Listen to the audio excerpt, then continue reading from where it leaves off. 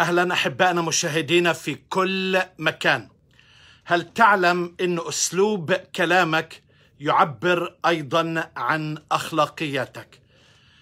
اليوم أنا عاوز أتكلم عن جملة ذكرها واحد يعتبر من أعظم أنبياء العهد القديم وهو يوحنا المعمدان بشهادة الرب يسوع المسيح. يوحنا المعمدان شهد ليسوع المسيح أنه حمل الله وشهد لأزلية المسيح وشهد أن المسيح هو ابن الله أي يعني يحمل ذات جوهر الله لأن المسيح هو كلمة الله.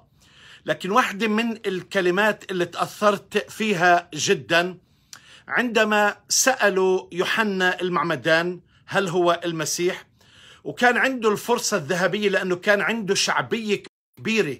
كان بيجوا من كل مكان حتى يعتمدوا في نهر الأردن على يدي يوحنا المعمدان.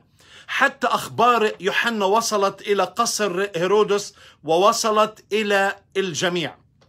وعندما سئل عن يسوع المسيح قال هذه العبارة ينبغي أن ذاك يزيد وإني أنا أنقص.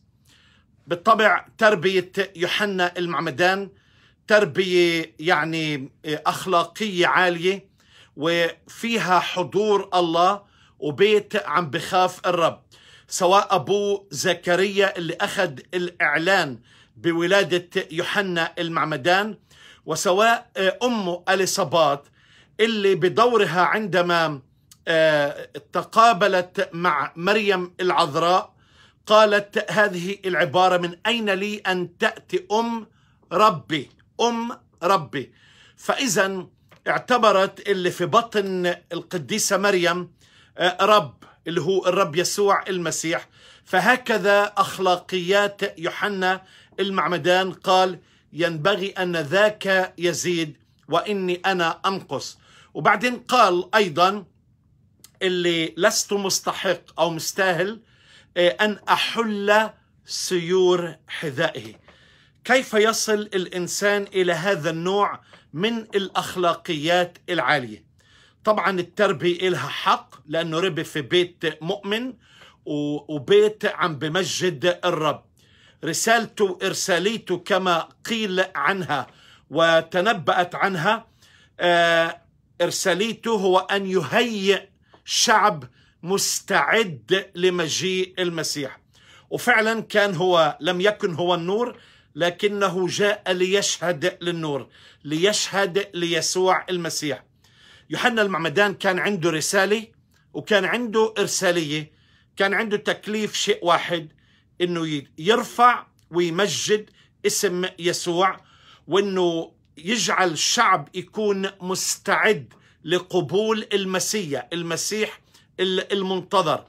بالنسبة له هذا هو النور مع أنه مات في ريعان الشباب حيث أنه هيرودس هيرودس أنتيباس ابن هيرودس الكبير حطه في السجن وطبعا قطع رأس يوحنا المعمدان في السجن وأكمل شهادته إذ تكلم عن يسوع المسيح. وهكذا حتى في شهادات الميلاد. مثل زكريا مثل أليصابات مثل سمعان الشيخ مثل حني بنت فانوئيل. كلها كانوا عايشين في رؤية حتى يستقبلوا المسيح ويعلنوا هذا المسيح المسيح المنتظر. تعرف أحبائي واحدة من المشاكل الكبيرة هو الأنانية الذات.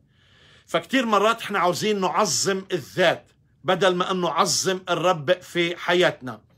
وحابين ناخذ مجد ذاتي بدل ما إنه الله هو الذي يأخذ كل المجد في حياتنا. في إشعياء 42 آية 8 مكتوب أنا الرب.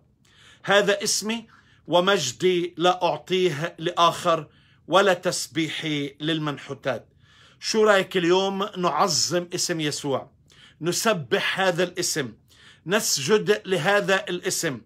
ونقول مستحق أن تأخذ القدرة والكرامة والمجد والتسبيح والسجود لهذا الاسم الذي هو فوق كل اسم. ينبغي أن يسوع يزيد وإني أنا أنقص. ينبغي إنه يسوع يكون الكل في الكل في حياتك. إذا المسيح تملك حياتنا كل شيء يصبح جميل في حياتنا. أنا اليوم بشجعك إنك تكون شاهد وشهادة إنك ترفع وتمجد اسم يسوع المسيح يمكن بكلمة حلوة أو بعمل خيري لكن لا تنسى إنه أي شخص بتتكلم معاه خليه يشعر ويكتشف محبتك ليسوع المسيح وإنه فعلا يسوع كل يوم يتعظم في حياتي ويزيد كل يوم في حياتي. وأنا أنقص حتى يكون هو الكل في الكل. ربنا يباركك. شارك هذا الفيديو. الرب معك.